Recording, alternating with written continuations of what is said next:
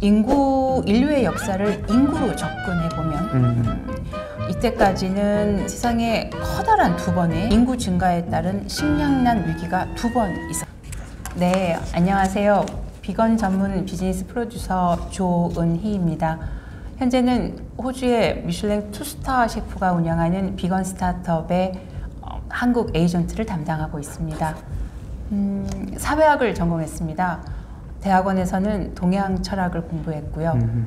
금융계와 교육 서비스 업에서 각각 15년씩 경제 활동을 했고 사회 활동을 경험했습니다. 오랜 공부와 적극적인 사회 활동은 저로 하여금 사회 전반에 대한 관심을 갖게 했고요. 네. 또 그 사실은 그 관심하고 저의 가지고 있는 열정을 좀 더 광범위한 실천으로 옮기고 싶었습니다. 그래서 2016년도부터 ESG 비즈니스를 프로듀싱하는 디오픈 컨설팅을 운영 중에 있습니다. 어. 반갑습니다. 네. 어, 그럼 이제 대부분의 이제 그런 기업들은 이제 그 시장성, 네. 그 성장성을 보고서 네, 시작을 맞습니다. 했다는 거죠. 예. 근데 일반인의 관점에서는 이 제가 뭐 몇몇 비건들을 만나 보면은 그 비건이 된 이유를 물어보면은 다양하더라고요. 네. 뭐 건강 측면에서 말씀하시는 음. 분도 있고, 그리고 난 동물을 그 보호하자. 보호하자 이런 식으로 음. 말씀하시는 분 있는데 왜 비건인가요? 이게 본질적으로 들어가면. 예, 그래서 아까 전 질문으로 제가 말씀드렸지만 음. 들어가서 보면 이제 세 가지로 집약할 수 있습니다. 네. 동물을 보호해야 된다. 나 네. 동물이 불쌍해. 동물 네. 학대하는 걸 볼 수가 없어. 그런 윤리성 때문에. 음. 아니면 어 육식을 많이 했더니 내가 병이 생겼다라든가. 네. 예, 그래서 건강에 관련된 문제. 그다음에 알고 보니까 축산업이 동물들을 많이 했더니 얘네가 방귀도 뀌고 트림도 해서 네. 탄소 배출이 엄청나게 네. 된다더라. 네. 그럼 얘네들을 키우자니까 살림을 다 벌채했다더라. 음. 그래서 자연재해가 더 많아졌더라. 네. 환경 이슈 이렇게 세 가지로 묶일 수 있습니다. 음. 근데 과연 그러면 이게 왜 이런 현상이 벌어졌냐는 거죠. 네. 좀 안으로 더 깊숙이 들어가야 되는 이야기인데요. 네. 음, 우리가 어, 요걸 좀 먼저 얘기하고 다음 고단 대화를 좀 했으면 좋겠습니다. 네. 인구 인류의 역사를 인구로 접근해 보면 음. 음, 이때까지는 세상에 커다란 두 번의 식량난 인구 증가에 따른 식량난 위기가 두 번 있었습니다. 네. 첫 번째 식량난 위기가 왔다고 하는 1960년대로 돌아가 음. 보겠습니다. 1960년에 FAO 국제연합 식량 농업기구에서 발표를 했습니다. 네. 자, 2000년대가 되면 인구가 두 배로 늘어날 전망인데 음. 현재 가지고 있는 식량 공급 체계로는 도저히 인구 증가 속도를 따라갈 수 없다. 음. 이런 암울한 발표를 한 거죠. 그런데 불행인지 사실은 다행인 건지 예상이 빗나갔습니다. 네. 예. 1999년도에 네. 예상대로 인구는 두 배인 60억 명에 도달했습니다. 음. 근데 농업 기술자 덕분에 네. 식량 부족의 위험은 사라지게 되었습니다. 농업 생산성의 증대와 네. 고- 어, 공장식 축산업의 네. 발달, 음. 결국은 기술을 기반으로 한 대량 생산으로 식량 부족의 위험은 없어진 겁니다. 네. 그래서 인류는 일단 생존은 했습니다. 예. 예. 결국은 공장식 축산업과 공장식 농업으로 인해서 음. 식량 대량 생산이 가능했던 음. 것입니다.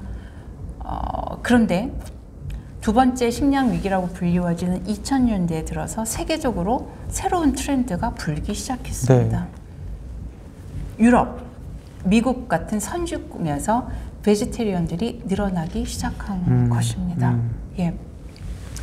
점점 소득이 올라가면서 네. 이 사람들이 건강에 대해서 신경을 쓸 여유가 생긴 것뿐만 음. 아니라 동물 생존권과 환경권에 대한 관심이 생긴 거 가 거기서 출발을 했습니다. 음. 이런 생각을 가진 사람들이 많아진 게 문제가 생긴 것입니다. 음. 그전엔 생각을 못했던 네. 부분들이 예. 공장식 축산업에서 나오는 음. 그런 환경의 문제, 동물 학대의 문제, 음. 여기저 소비자들이 관심이 들어가게 된 것이죠. 음. 그래서 이제 결국은 지금 두 번째 일어난 식량난의 문제는 음. 첫 번째 식량난 문제 때는 오로지 생존이 1번이었기 때문에 대량 생산에 집중적으로 저희가 해서 결국 살아남았는데 네. 지금 식량난은 새로운 인구 증가에 따른 식량난 플러스 그때 대량 생산으로 해서 야기된 기후 위기, 이 네. 환경 문제까지 같이 음.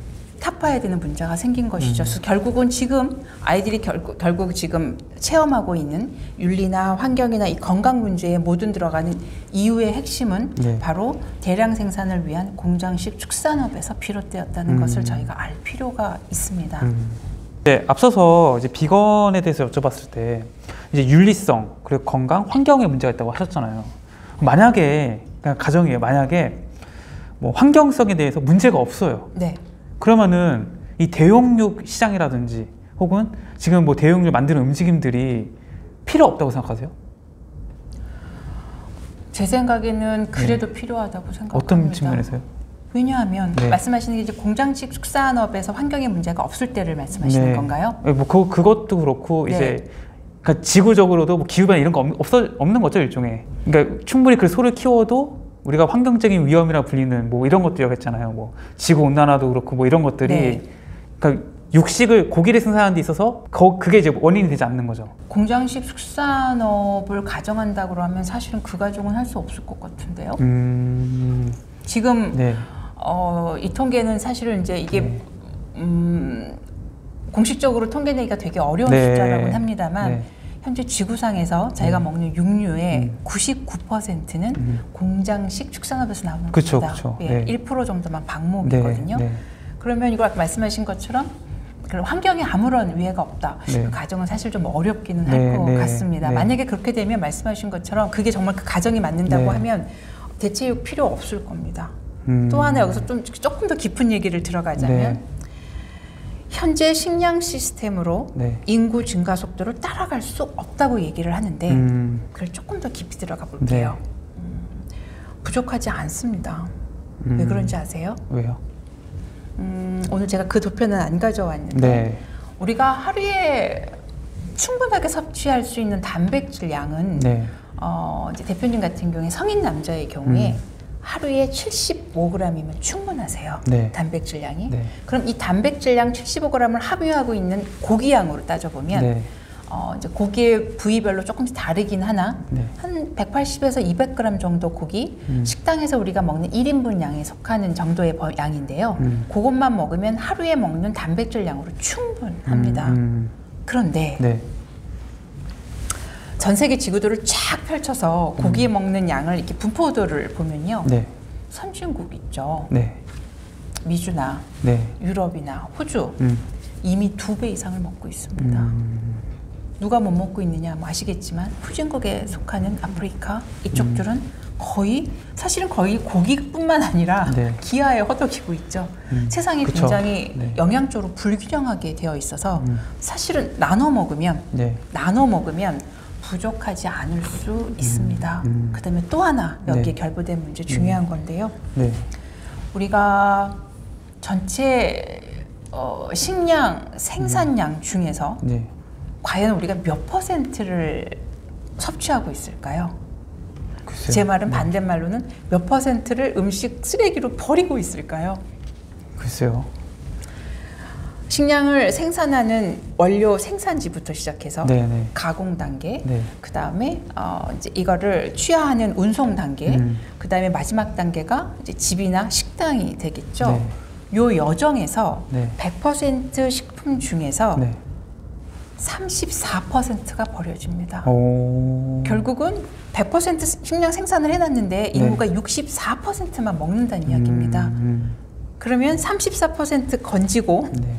전 세계의 식량 영양 불균형 상태를 균형으로 맞추면 음, 거기다 플러스 아까 말씀하신 것처럼 환경에 영향이 없다라고 음. 말씀하시면 대체육 필요 없겠죠. 음. 이런 노력 안 해도 될 것 같습니다. 음, 음. 네.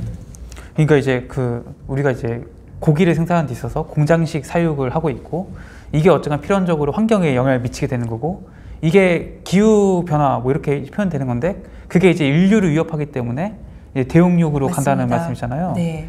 그럼 이제 대용육은 그럼 이제 뭐 먹겠다 안 먹겠다 아니고 그러니까 필수 아닌가요, 그럼? 맞습니다. 저희가 선택의 여지가 없습니다. 음. 사실은 음. 음, 선택의 여지가 없다 보니 네. 대용육을 만드는 업계 관계자들한테 네. 많은 요구가 생기게 되는 것 같습니다. 음, 네. 음. 그럼 그 이 모방 전략을 어쨌거나 구사를 해서 그쪽으로 네. 가고 있는데 지금 어느 정도 수준까지 온 건가요? CES 2019년에 나왔던 그 임파서블 푸드 햄버거 패티는 네. 사람들이 blind test를 하면 아예 알아볼 수도 없고요. 네. 시각적으로도 네. 대두콩, 메주콩으로 만들었는데 음. 핏물까지 재현시켰습니다.